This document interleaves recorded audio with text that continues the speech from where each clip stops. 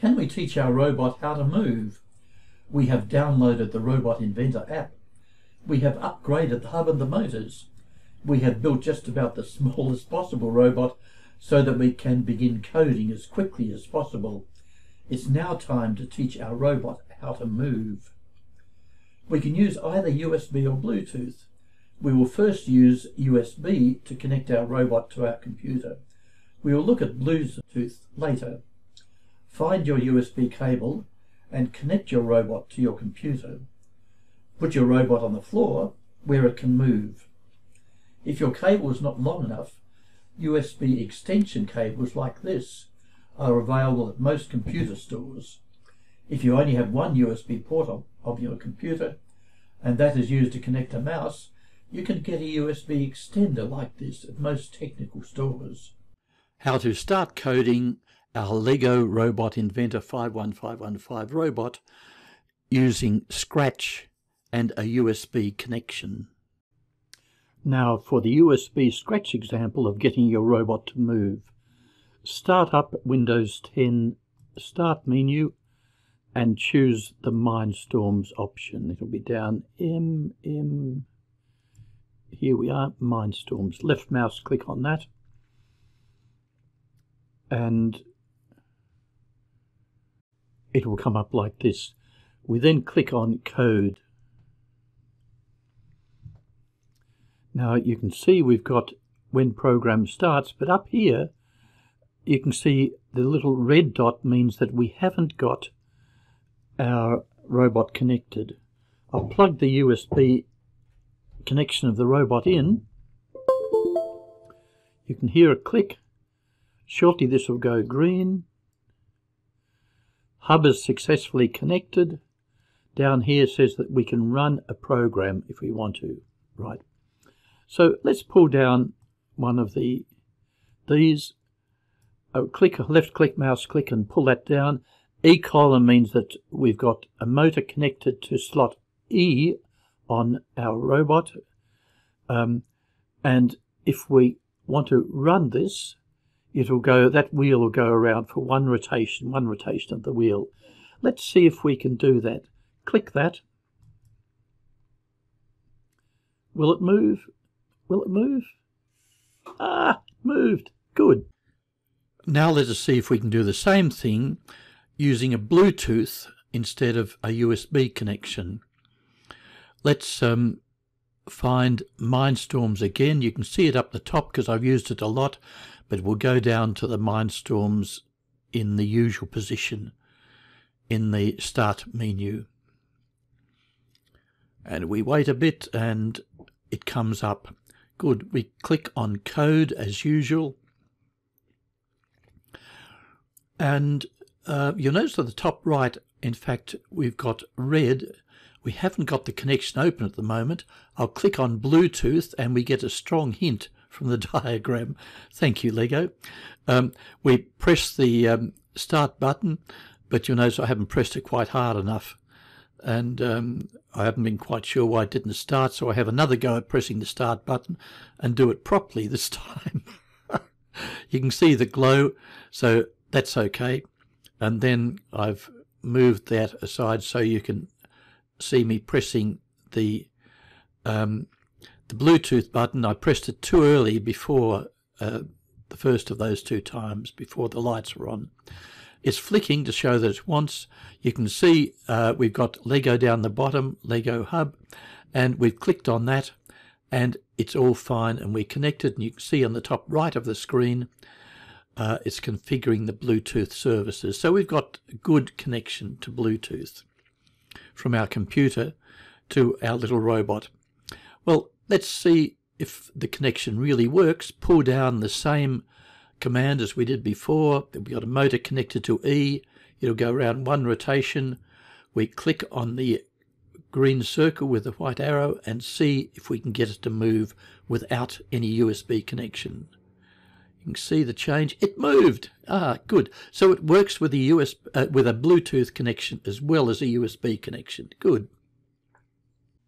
Next let's try programming using Python, which is a much more advanced language than Scratch. It's one of my favorite languages. It reminds me a lot of Algol 60, which I started on the Elliott 503 some time ago, but it's much more capable. Let's look and find Mindstorms again.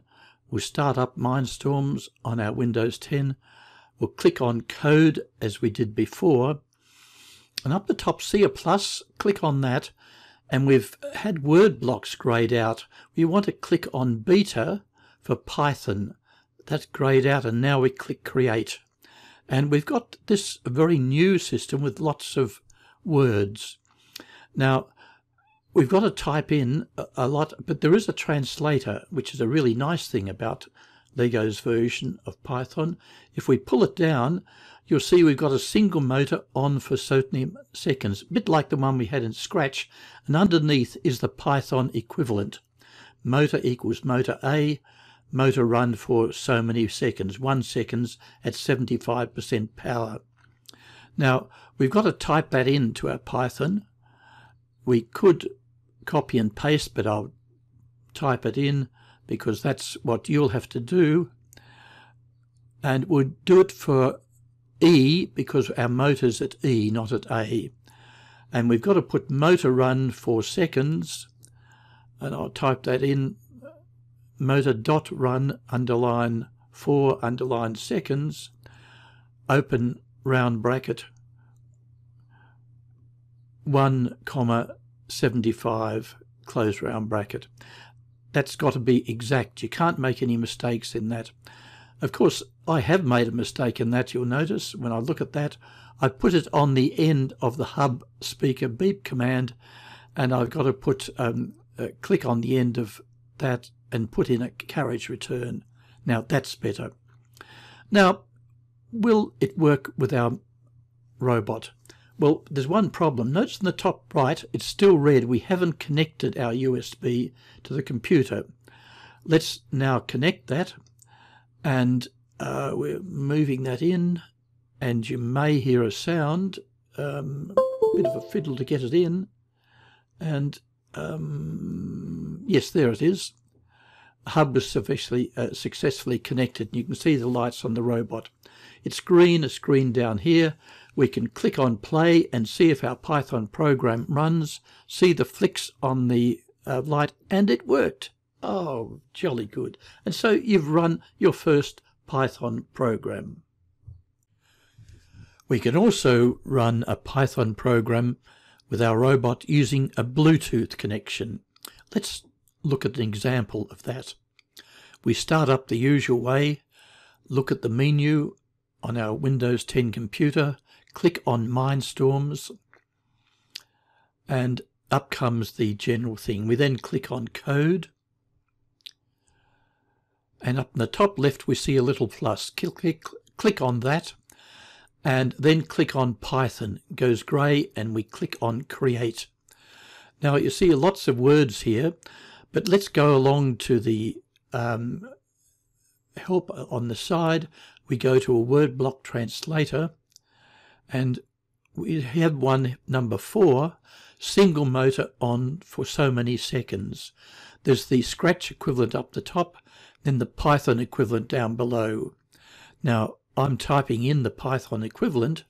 It'll be motor E instead of motor A because that's where the motor that we want to use is. And I put motor dot run underline four underline seconds I'm not the fastest typist in the world. Um, for seconds, open round bracket 1 comma 75, which is for one second at 75% power. Now, there's a problem in that we still haven't had the Bluetooth connection. See up in the top right? It's still red. So we've click on that and we open a hub connection, click on Bluetooth because we don't want to connect to USB, and Lego gives us a handy hint as to what we're supposed to do. Um, you can see I've done that down the left. The big light comes on. This time I've waited until after all the lights stabilize. Then I click on the Bluetooth connection. It flashes and you'll notice down the bottom we've got Lego Hub Tas1, which is my robot, and we click connect to set up a Bluetooth connection. And you notice on the top right, hub was successfully collected and is connected correctly. So we've got the program there. Uh, we can click on the green circle with the white triangle. We try and run it. Will it work over Bluetooth? Waiting? Yes, it will. Good. So we've demonstrated four ways of running programs here. Two Scratch and two Python with both USB and Bluetooth connections. Now go on to one of our fun challenges in either Scratch or Python.